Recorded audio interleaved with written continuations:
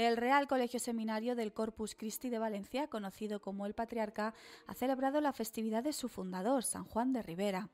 Los actos comenzaron por la mañana con el rezo de laudes y la misa conventual. Por la tarde se celebró la misa solemne cantada en gregoriano y polifonía, presidida por Juan José Garrido, rector del Patriarca.